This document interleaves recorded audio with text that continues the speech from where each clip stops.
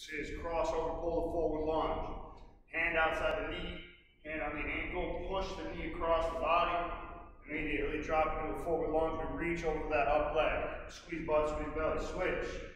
Hand on outside the knee, hand on the ankle, push knee across the body, drop into forward lunge, squeeze your butt, squeeze your belly.